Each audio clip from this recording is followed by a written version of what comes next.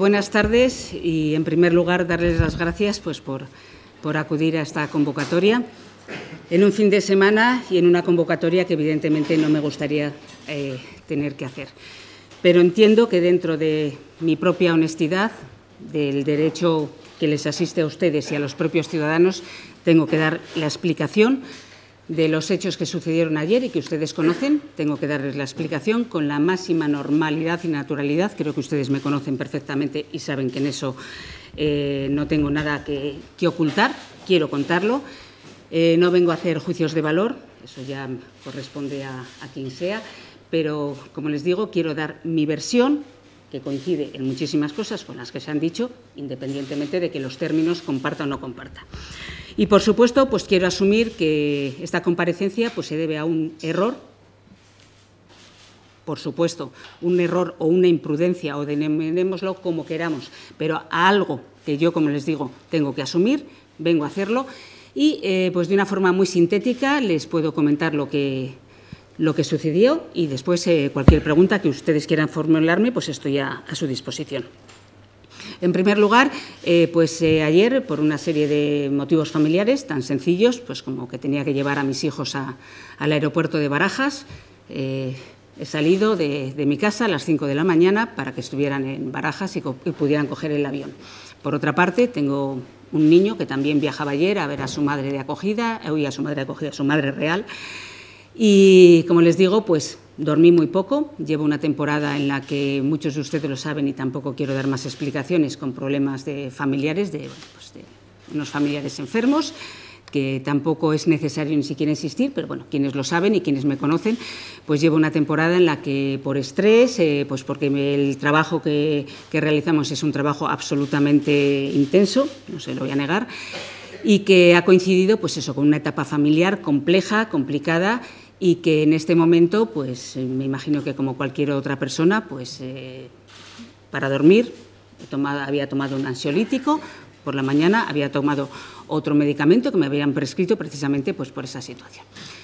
Eh, una vez que sucede que vuelvo, insisto, vuelvo de, de Madrid, de un tema personal, que no tiene nada que ver, vengo con mi coche, y cuando mmm, paro, a eso de las seis de la tarde, una cosa así, cuando paro, pues paro a tomar algo, porque realmente llevaba todo el día sin comer y sin dormir, y en ese momento paro en una área de servicio que conocen ustedes, que está a mitad de camino entre, entre Zamora y Madrid.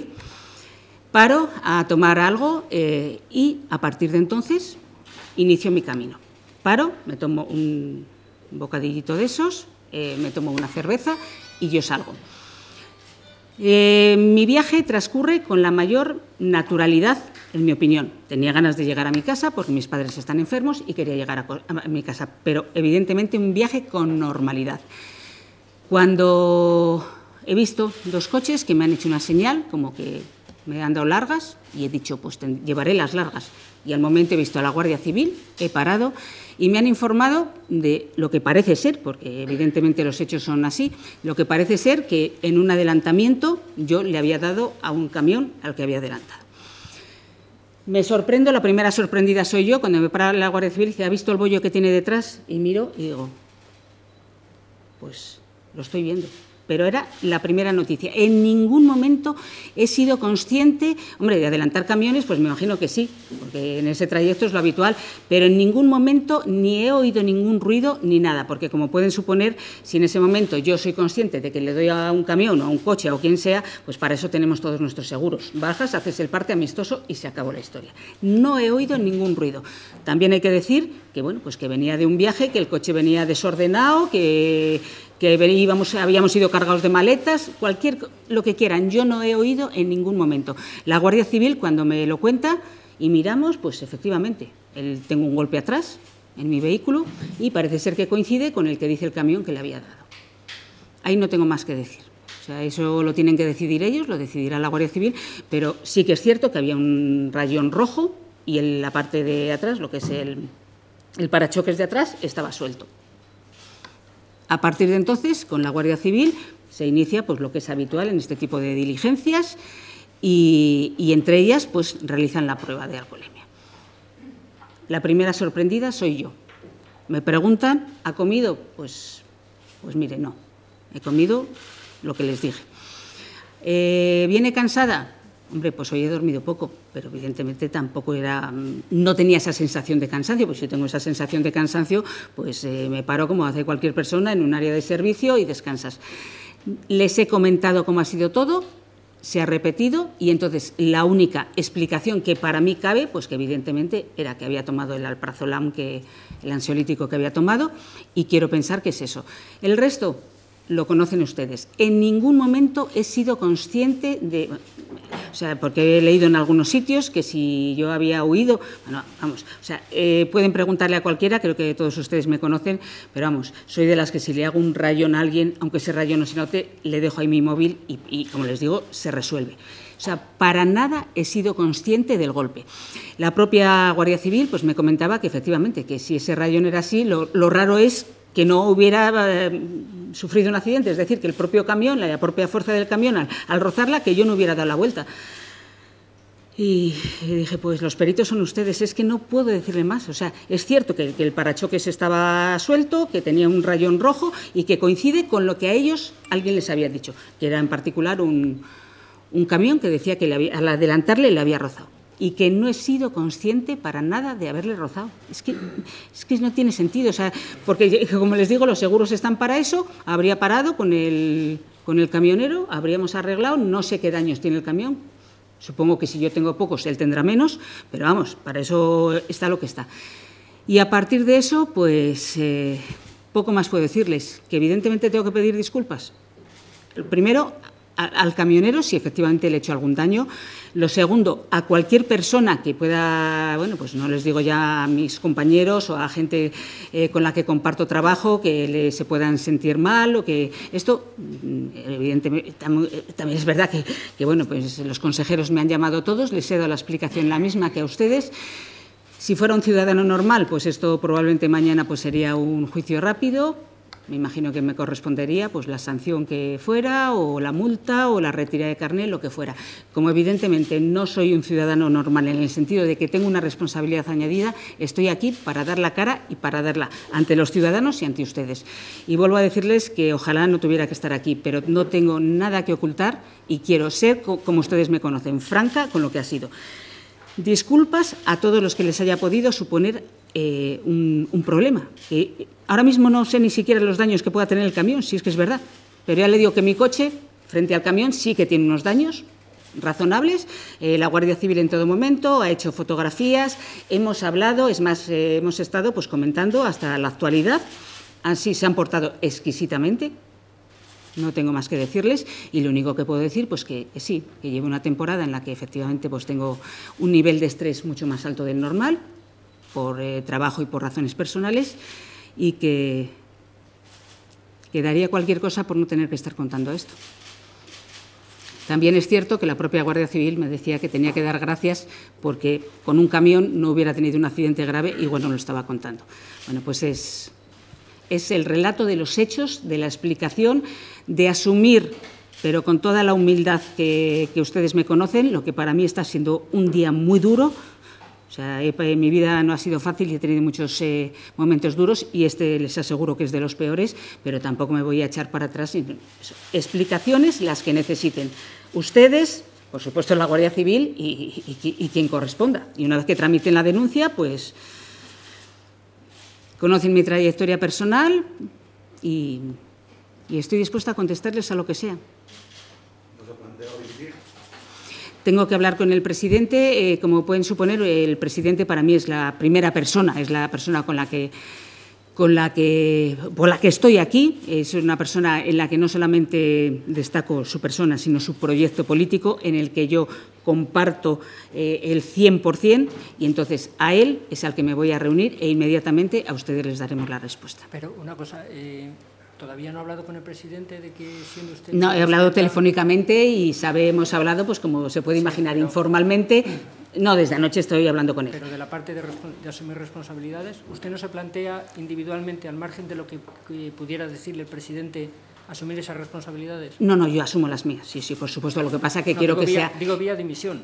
no, no, es que quiero, sí, pero vamos a ver, yo asumo mis responsabilidades y precisamente por eso mismo voy a hablar inmediatamente con él y tendrán la respuesta creo que se Perdónenme porque, hombre, quizás si hubiera sido todo con más tiempo y hubiera podido hablar antes, pues ahora le podría contestar, pero es que por respeto mm, voy a esperar, que voy a hablar con él e inmediatamente se lo diré. Sí. ¿Y cuál es esa decisión? Permítanme que se la traslade al presidente. ¿Usted considera que es un hecho? Ese es un problema solo de respeto. Eh, ya le digo que el presidente sabe que estoy ahora, lógicamente, que tengo convocada esta rueda de prensa, lo voy a ver después e inmediatamente eh, les vamos a comunicar. Pero, ¿Usted? mm, Pues me ha preguntado y le he contado lo mismo que les estoy contando a ustedes, lo mismo que le conté ayer a la Guardia Civil. O sea, es que, es, mm, es que aquí no hay más relato que la verdad y saben que para mí con la verdad se va a todos los sitios. ¿Que es un error? Que evidentemente había dormido tres horas, que estaba cansada, pues por supuesto, no puedo decirles que no. Que no tienes esa sensación de cansancio muchas veces pues porque te tomas la Coca-Cola o no sé qué, bueno, ¿y por qué quieres llegar a casa? Pues todo. O sea, asumo que, que esos hechos son como son. Pero la interpretación personal, permítanme que les dé la mía. Y les aseguro que les estoy diciendo la verdad. Y la voy a decir aquí, como se la dije ayer a la Guardia Civil y como se la puedo decir en cualquier momento a quien corresponda. Y al presidente le di la misma, claro. Perdón, No, no, le he dicho, no, no, le he dicho que me he tomado una mm, pulguita de esas y dos cervezas. Y hay otro detalle que me gustaría conocer. A ver. Es si eh, la Guardia Civil le indicó que tenían que acompañarles a ellos al hospital. Eh, no sé si usted se negó, no se negó. No, no, al revés, no, no, no, no, todo lo contrario. Me lo ofrecieron ellos, pero simplemente la primera sorprendida fui yo.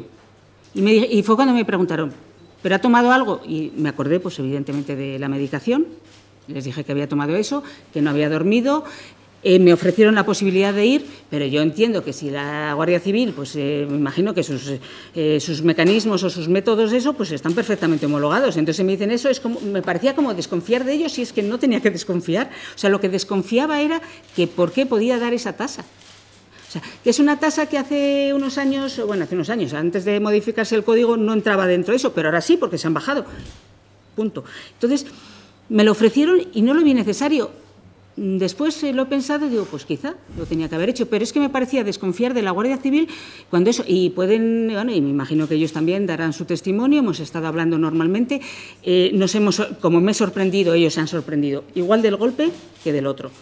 Y entonces hemos estado comentando, pues, pues sí, el alprazolam, ¿y cuándo lo ha tomado? Pues hombre, pues para, dormir, a, las 2 de la mañana, pero es que me he levantado a las 5 que es una historia mm, que, como saben, se pueden imaginar ustedes a posteriori, pues cualquiera, hasta mis hijos dicen, pues que no tenías que haber, haberte quedado porque no habías dormido, porque tal. A posteriori todos, pero yo en ese momento, pues mi obligación era llevar a mis hijos a Madrid, así lo hice, cometí un error, que se lo estoy contando y lo estoy asumiendo, y que vuelvo a pedir disculpas, y, y desde luego, pues... eh, Alguien me comentaba, pero ¿y notaba sueño? No, si yo noto sueño, como les digo, pues no creo que sea cualquiera que se mueve mucho en coche, ustedes lo verán, pues cuando notas sueño te paras en un área de servicio, duermes un poco y ya está. Es que no notaba sueño. Sea, quizá es el propio estrés que estaba deseando llegar a mi casa por esas razones que les cuento.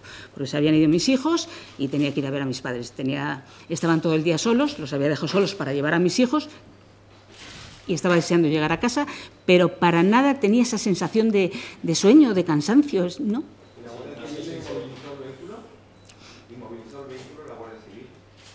Sí, me quedé allí con ellos, sí, claro, sí. ¿cuánto tiempo estuvo con ellos allí? Uf, pues no lo sé, pero bastante. ¿Es cierto que iba, eh, según se ha dicho, a 170 kilómetros por hora? Bueno, mire, eso sí que lo tengo que, eso lo tengo que negar. Vamos a ver. Yo iba a una velocidad que es la normal. O sea, no me pregunte ahora, pero suelo poner normalmente pues el, el fijador este de velocidad que tiene el coche, iba con él. Entonces, eso, vamos, y de hecho la Guardia Civil, en ese momento, si yo hubiera ido y lo tuvieran detectado, me lo habrían dicho. Es que no, es que no, porque normalmente le digo que pongo el, controlador, no sé si se llama velocímetro o lo que sea, el, regulador. Entonces, lo de la velocidad no. Hombre, vamos a ver, yo entiendo que eh, la valoración subjetiva pues puede ser la que sea, pero la objetiva es que yo siempre pongo el eso. Entonces, ahí, salvo que me digan en un momento dado que eso no me funcionaba o exista una prueba, y la Guardia Civil no me dijo en ningún momento nada, ¿eh? Para nada. ¿Qué O sea, lo único ya les digo, y la primera sorprendida del golpe del coche fui yo. ¿Qué- qué- Hombre, vamos a ver, en teoría sí. En teoría sí, pero ¿Qué delitos le han imputado? Se- ¿Eh? se- le- ¿Qué delitos le han imputado? no lo sé. No, no, en principio la, la Guardia Civil me ha dicho que, bueno, elaboraron el atestado y ellos a raíz de eso pues procederán, pero vamos, No le han informado de si es uno o varios delitos. No lo sabe. no, ya le digo, el tema de la velocidad, que es algo que he visto publicado, vamos, no me lo dijeron y desde luego soy consciente de que siempre llevo el velocímetro. Claro, pues entonces la velocidad estábamos hablando de, según lo que han publicado esta mañana algunos medios, 179 kilómetros por hora Mire, y 0,77 en Casa de Alcobendas. Mire, si voy a. ¿Cuántos me ha dicho? 179 kilómetros por hora. Y rozo al camión al adelantar, mm, probablemente hoy no estaría aquí. Perdone, más allá de pedir perdón, que es, que es lógico y es normal, Por supuesto. eh, ¿no cree usted que eh, son hechos lo suficientemente graves como para que asuma ya la responsabilidad política?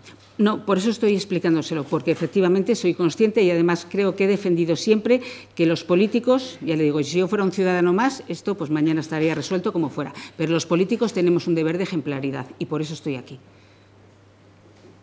Lo asumo perfectamente, creo que me conocen y ahí he sido muy clara cuando otras ocasiones, que a veces eh, se pueden imaginar que ahora por una parte pues recibes eh, apoyos de personas que te dicen que tiene que ver la vida personal con la actividad política, eh, los que saben mi situación de especial estrés esta temporada me lo dicen, pero no es eso. O sea, yo puedo tener una, bueno, no voy a decir una justificación, puedo entender o consolarme, o si quieren, bueno, pues intentar ser, eh, que humanamente me entiendan ustedes, pero desde luego el error lo asumo. O sea, es que no, no, no puedo decir otra cosa, es que lo tengo que asumir. Hay que deducir que el presidente le va a presentar su, su dimisión y que sería irrevocable. Voy a hablar con el presidente Herrera. Porque De verdad que permítanmelo porque hemos estado por teléfono, pero personalmente no y creo que le debo esto. O sea, para mí esto es, eh, pues se pueden imaginar algo muy triste, muy desagradable, porque llevo muchos años trabajando en política con toda la intensidad del mundo y ayer, pues bueno, pues en una historia personal ha pasado esto. Y, y si me duele, me duele por mí, pero muchísimo más me duele por Herrera, por su proyecto y por mis compañeros de gobierno. Sí, no sé si ha hablado con algún abogado o, o, o se ha hacerlo, por si no sé si eh, el Mm, no. jurídico puede considerarse como atenuante y si pudiera No, no, no, lo, vamos, eh, hombre, me imagino que si, si abren diligencias ten- tendré que hablarlo con algún abogado, pero ahora mismo no. Ahora mismo no, porque ya le digo, para mí ha sido una, una sorpresa, es que no, vamos a ver, una sorpresa, una sorpresa que evidentemente cuando te dicen, ¿ha visto usted el bollo del coche? Y lo miras y dices, pues sí, pero no me había enterado. Es que si, si yo hubiera. Es que, es que no me cabe en la cabeza. O sea, para mí es inconcebible que alguien eh, dé un golpe a un coche y no pare. Vamos, y yo no les digo ya en carretera. O sea, vamos, Porque has- porque es inconcebible. O sea, si alguna vez me ha pasado, pues aparcando o cualquier cosa, y lo pueden comprobar en cualquier vecino, pues les dejas mi móvil y el seguro lo arregla. Es que. mm, La única explicación que hay es que no me he enterado de que le he dado ese golpe, porque si yo me entero ese golpe, estamos haciendo un parte amistoso y aquí se acabó el problema.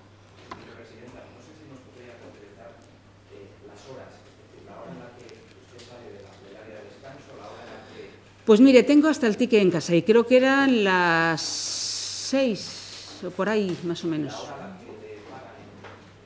Pues cuando estaba llegando a Toro. O sea, que serían ocho. Es que la verdad es que no se la puedo concretar. No, no, no, no, no. No, no, no, no, no, no, no, no, era de, ya les he dicho, no, la que, la que he salido de madrugada he sido yo para llevar a mis hijos que tenían que estar en barajas a las nueve, pero no, no, esto ha sido de día. Que no, no, no, no. No, no, no, para nada. No, no, es más, cuando los he visto he parado. O sea, vamos, he parado con la máxima normalidad, es más, no sabía ni que... Y, y son ellos los que me lo han informado de todo, o sea, para nada, o sea, he parado...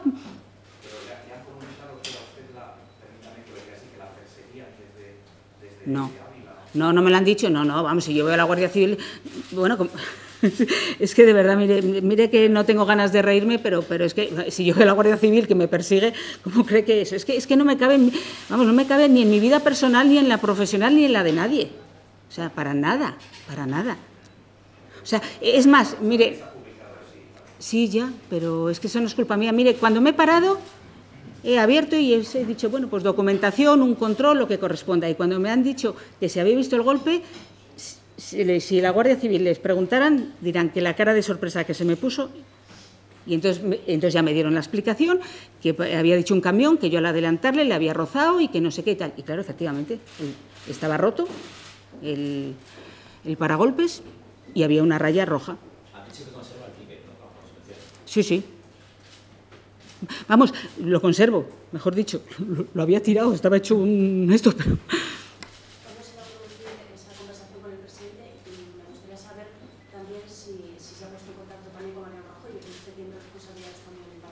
No, eh, yo tengo que hablar con el presidente. A mí, eh, por, no por lealtad, por, eh, por, lógica, es mi presidente regional, es, eh, es, con quien estoy trabajando y tengo que hablar con el presidente. Si después tengo que hablar con alguien más, no se preocupe que lo voy a hacer, pero vamos, en principio Herrera. Herrera, que por teléfono ya hemos hablado, vuelvo a decir, pero que ahora tenemos que... Muy prontito. Pero ateniéndose a ese relato de los hechos, parecería la expresión, una torpeza dimitir por algo que no, que no, que no le consta que Vamos a ver.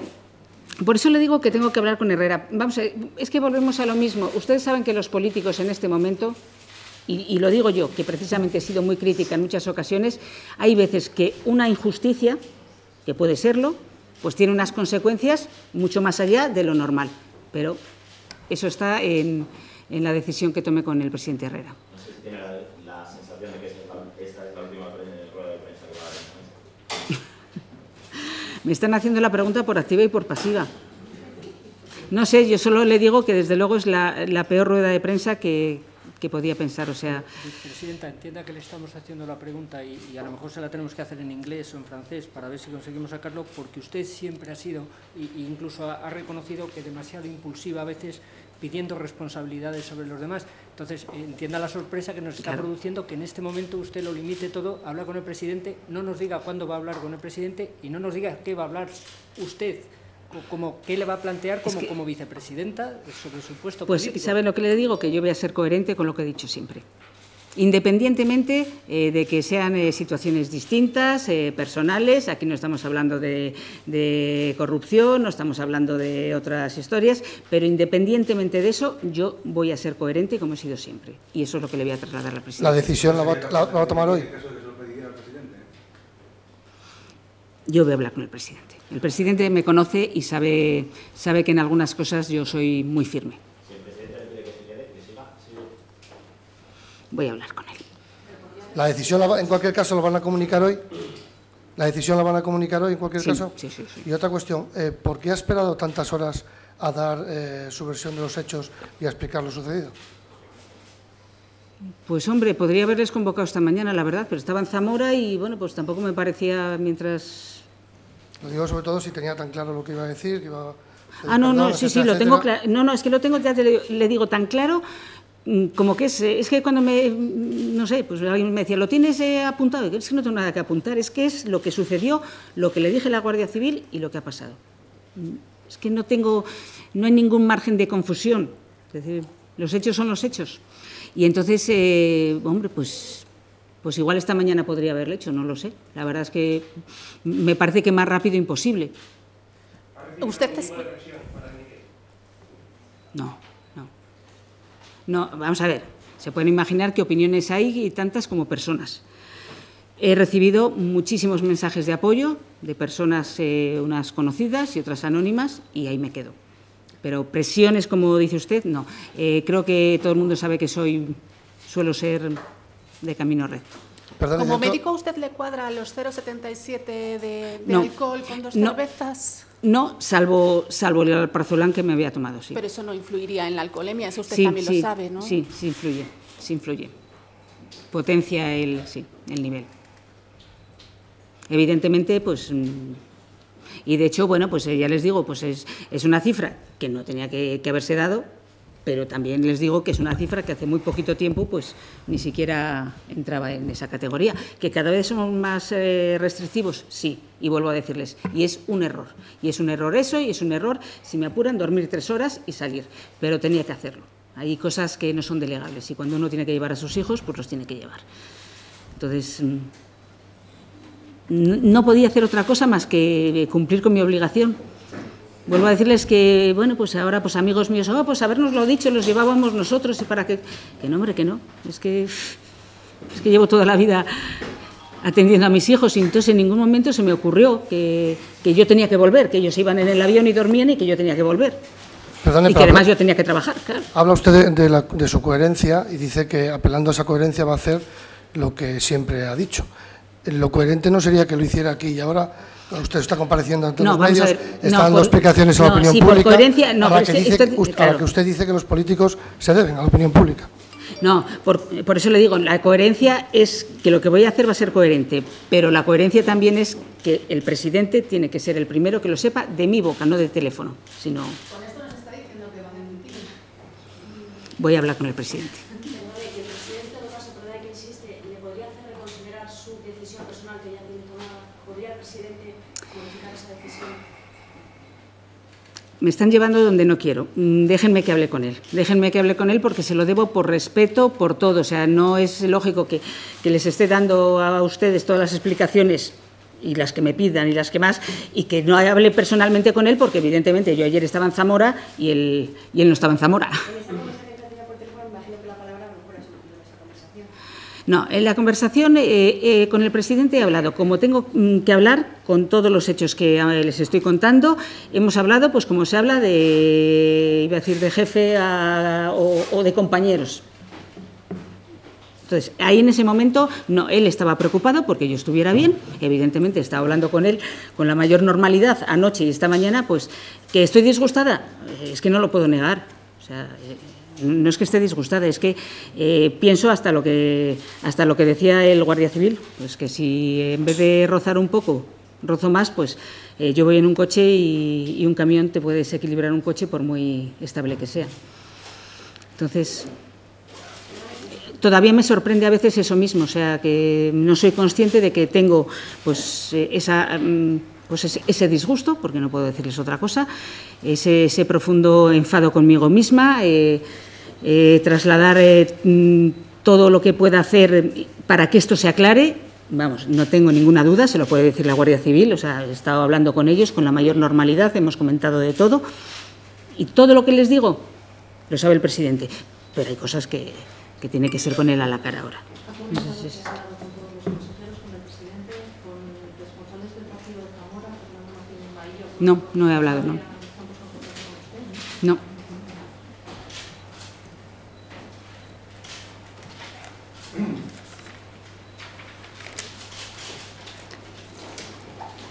Pero denme, de verdad, o sea, todo lo que quieran preguntarme a mí de lo que yo pueda darles de la versión, está. Pero déjenme que, que vea al presidente ahora. ¿Eh? En cuanto pueda. Estábamos pendientes de hacer primero la comparecencia porque estaban ustedes convocados y inmediatamente, aunque ya le digo que por teléfono hayamos comentado, pues tengo que... No es que se lo deba, es que es cuestión de respeto. ¿De acuerdo? Pues muchísimas gracias.